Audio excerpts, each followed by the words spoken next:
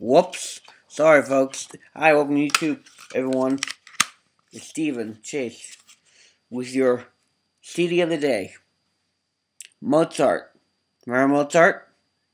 I bet you do. Now, Mozart was a very creative artist. He created lots and lots of music.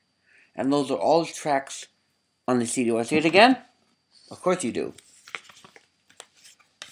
Let me, let me,